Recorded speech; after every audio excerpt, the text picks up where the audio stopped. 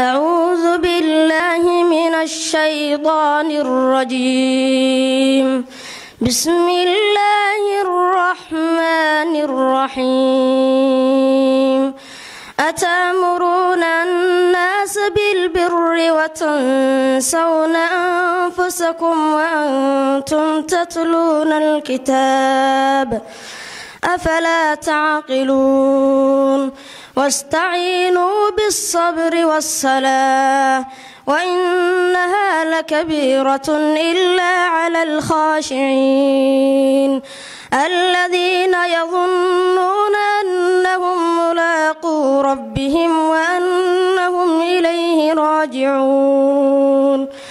يا بني إسرائيل اذكروا نعمتي التي أنعمت عليكم وأني فضلتكم على العالمين.